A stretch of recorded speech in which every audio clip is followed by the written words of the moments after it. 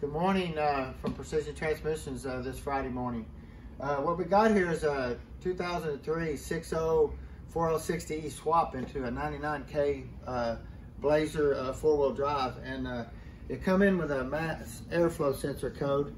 And when you have a mass airflow sensor code with these, it'll mess with the pressure physically in the tranny. And you have to get that fixed instantly. If not, you'll burn the tranny up in them. So we're gonna tear this uh, down and see what type of damage it did. So let's see what it did.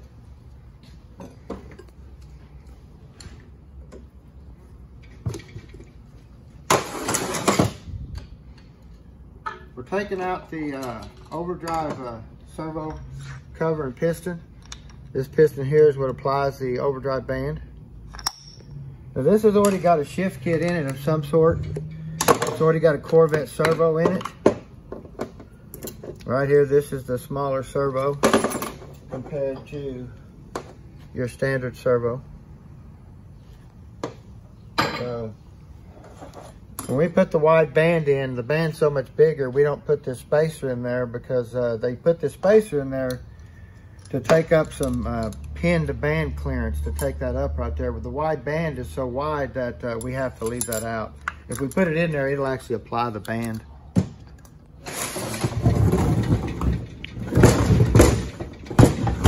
This is an early model 4L60. The bell housing doesn't come off. It is still a four-wheel drive. Got your aluminum dust cover that bolts here.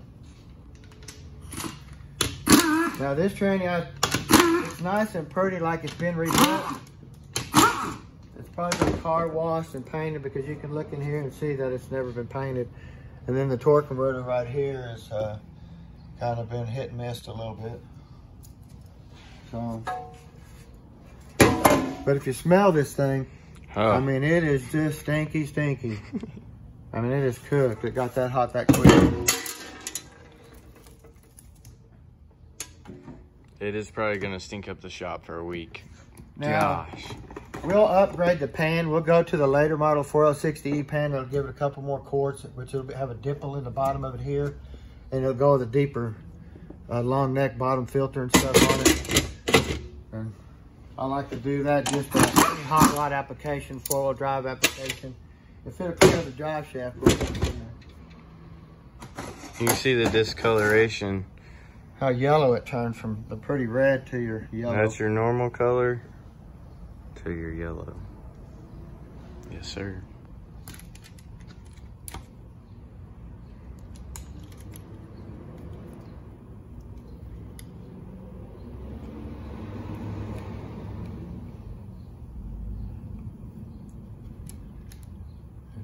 might have to help me get that out.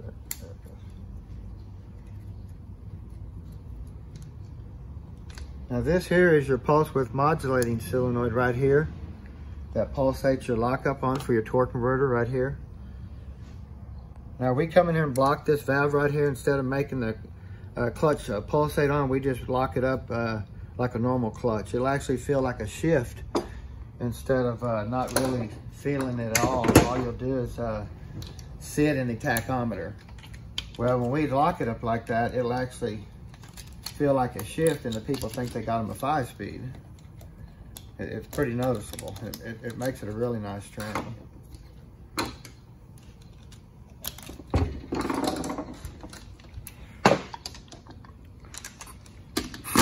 Now this is physically your lockup solenoid right here. This solenoid right here. Looks like we got a new harness and everything. Yeah, somebody's updated the harness. Now this here is your 3-2 downshift solenoid. When you hit passing gear, this forces a downshift. This is your pressure control solenoid. Both your shift solenoids. And then your pillow switch that tells the computer that the tranny made a shift.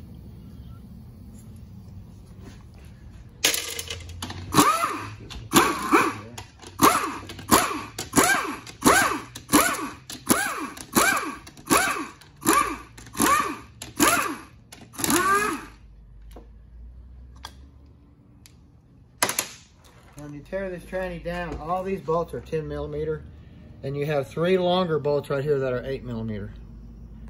These two are eight millimeter too, but these are real short. They're really noticeable.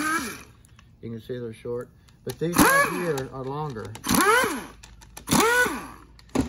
So if you take and put one of these anywhere down this barrel right here, this will physically rub on the components on the inside of the tranny. It's not much longer, but it's enough to do it. So you want to make sure in this L right here, you want to get them 8 millimeter bolts put in there.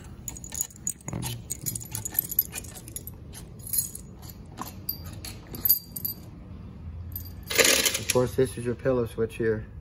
There's little switches right here that the fluid pushes on. They'll actually click when you push a screwdriver on them. This is an early design here. Metal would fall down in here and uh, cause shorts and stuff like that. And they finally started putting a cover on this to keep this all clean in here where metal couldn't cause that problem. So this is an early design.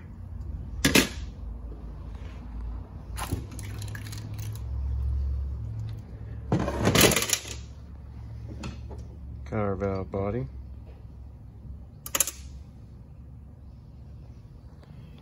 Now here's your check balls and stuff that control fluid to your bands and clutches.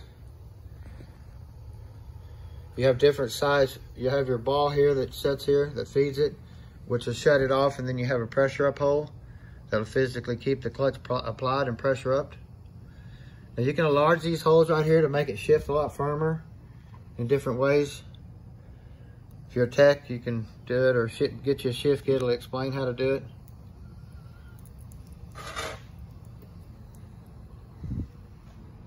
That ball didn't go in that square trough, by the way. It fell there.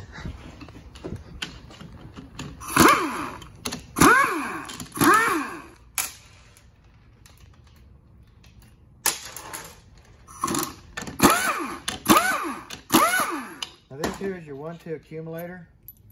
This here actually softens the second gear shift.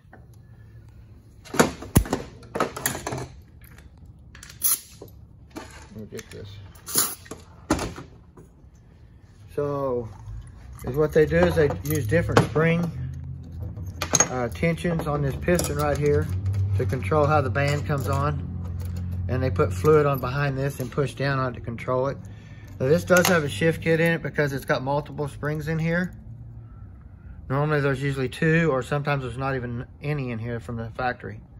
They just leave a blank hole depending on what type of vehicle it is.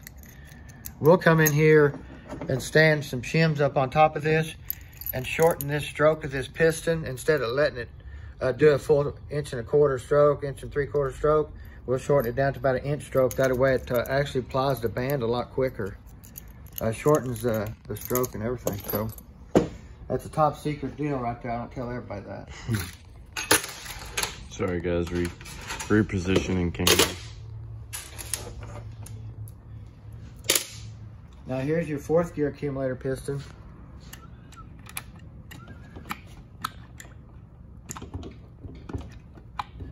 Get out of there. Same way, it's got a shift kit spring in it. Uh, the band comes back on for fourth, pushes on this to soften the band when it comes back on. What we do is we block these solid where they don't even move at all. We'll stack two pistons on top, put a three uh, 20 thousandth shim in here and stop this from even moving at all. It just gives it so much uh, a better fourth gear shift. When you do that, you better make sure that your piston sits below. Below surface, yes. Mm. Don't stack it too high.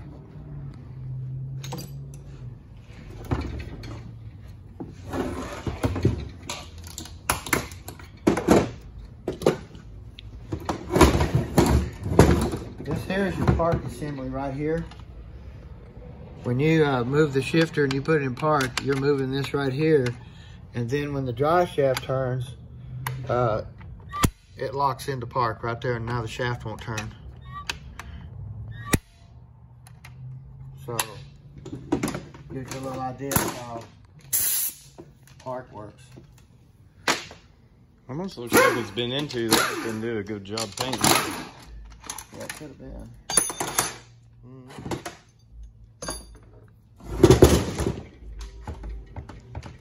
Gotta find out.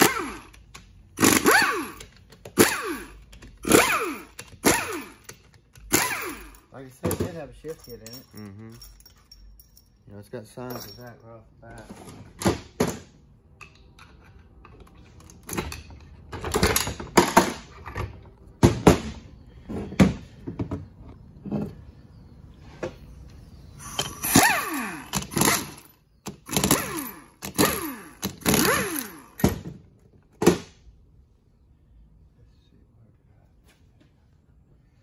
this is the pump here. I'm gonna look in there and see if they did anything to it. No. Now see, they, they built a, somebody's been into it before and built it because it's got the disc and stuff, but they didn't put a 13 vane pump in this thing. They just left the standard pump in here. And uh, anytime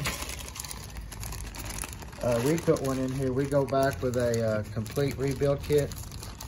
And it comes with uh, a 13 vane where you physically get 13 new paddles in this pump and a new slide, new rotor and everything like that. It comes in a complete kit. So that's a big upgrade when you do that. You, basically, we do it to every one, so well, it's a It's a must for yeah, us. it's a must for us. So whether it's your grandma's car, your daily driver, your farmer, race car, whatever, always upgrade that pump. Oh, almost dropped it.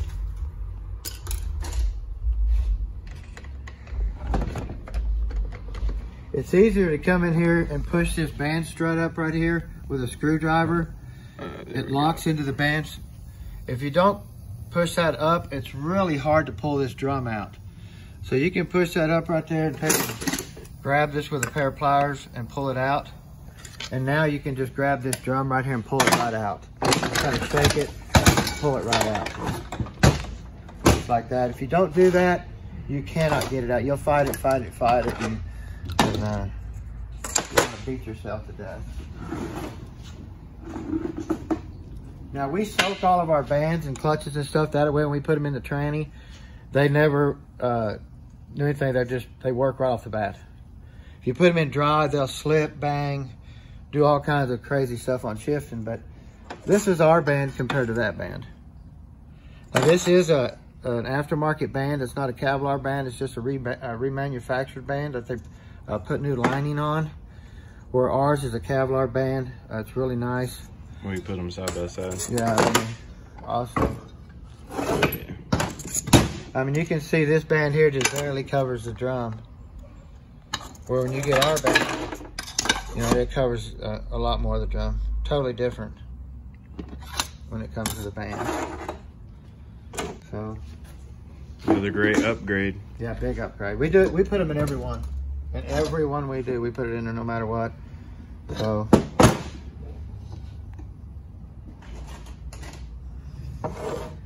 this is your reverse clutch.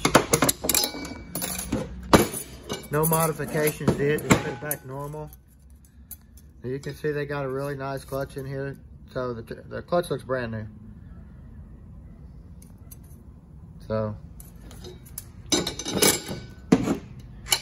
Now, I do notice here though, for as new as these clutches are, and as old as these bushings are in this tranny, these bushings were never replaced at all. They're just, they're just, you can just tell just by uh, looking at them Mm how bad they look. So, when we did all the uh, bushings.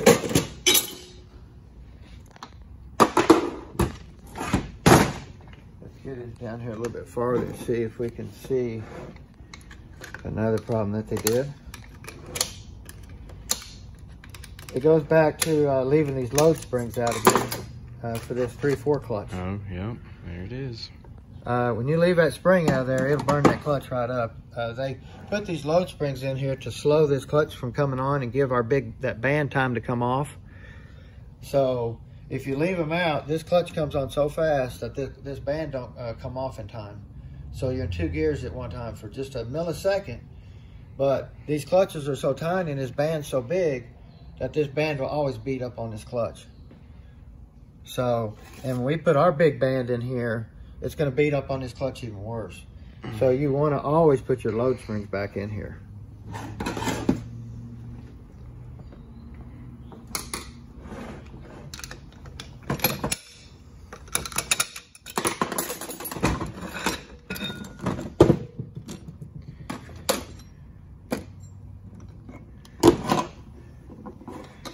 Now, he's already, this is the forward clutch that moves the vehicle forward. Why this clutch is burned up, I don't really know. It's kind of odd and, until we get deeper into the drum and see if he, it's got bad seals or something like that. But if you look at this brand new clutch here, and then you flip it over, See, it just cooked it. And these clutches will get be hotter on in the center because that's where they all meet together. But you can see what it does to them.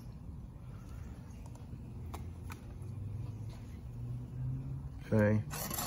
So he's definitely got a problem. We got to figure out what's going on, and I've almost think I already found it. So uh, what happened is here, I'm pretty sure when I stack it up, they left a, a steel out right here. Oh, they did. Yeah, they left the wave out. Yeah, they did. And that's why they're missing a, a steel in here. that's funny. And, and it's got too much uh, clearance in the clutch pack, and that's why it Mhm. did that. But we've already seen they left the wave completely out, and you can't do that unless you add another one. So there should be two here instead of one to, to, to take up the clearance. So that's what happened. So, Good eye, sir.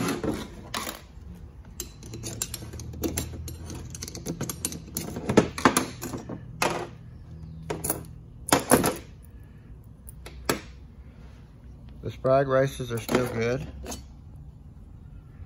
Let me see. Show. Uh, There's no dents. We can scotch brite this stuff up and put a new sprag in it and everything look good. Go back to the bushings, they're, they're all used, so.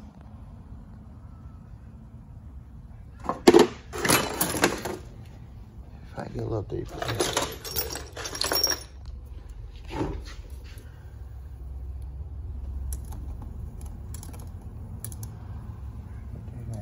No, it's right here on this side. Right there.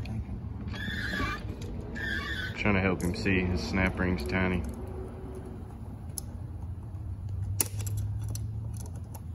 There it is. I'll get out of there sometimes. Got it. Now it does have the, uh, Huh. What did they do? okay. This is some awesome stuff. Okay. Here we go.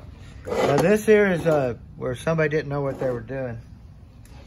And what they did is they put a washer in here. Now let me show you what, what goes there.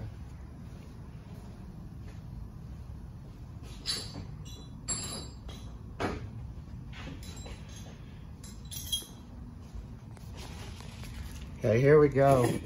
But since we have a, a four tab shell, you would put a four tab washer like they did, but you would put a, a, a hub, a flat hub like that. That way the washer will run flat on the hub here.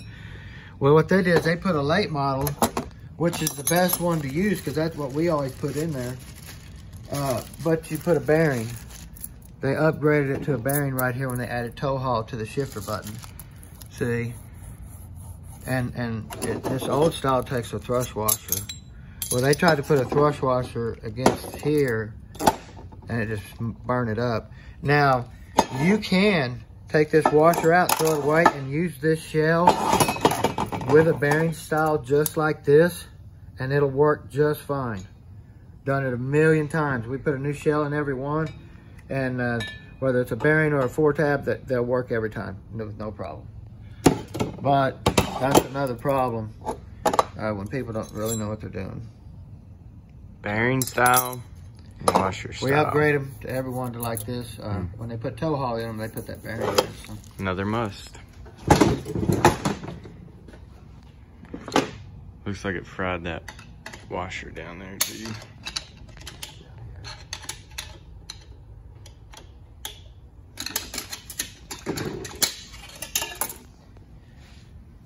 There is another washer down here that's on the back side of here. Uh, you can put them in brass or plastic uh, that runs back here like that.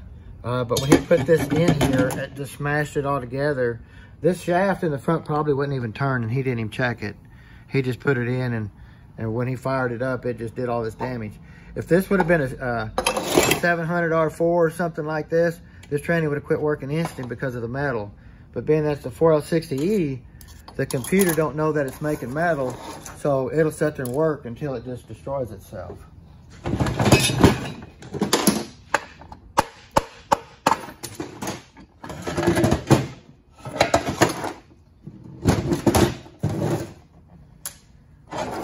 Now this is your low reverse clutch here. It comes on in reverse and then the low. Here's where that tab washer sits like that, down on it. And then this goes down on top of it, on top of here. Like that. Give you an idea. Uh, this is a Sprag, it's a one-way. Now also, when you build these things, let me tell you a little secret. They make two different ones of these. They make a thick and a thin right here. You'll see that lip that he's trying Yeah, to grab. if you have to replace this, you better look for that right there.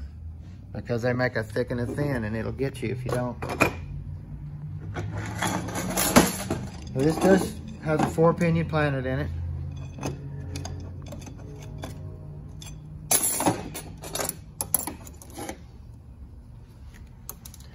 Got some really nice clutches here. Didn't burn them up or nothing. So, there's some more updates we do to this. Uh, we take this, if we build a race car application, we'll take and leave this wave out and then we'll restack two steels and, and grind off some tabs. Uh, that way, when you shift it from uh, manual low to second, this clutch comes off instantly. Uh, because your band's gonna come on so fast that this clutch won't have time to come off because it's trying to relax this wave right here.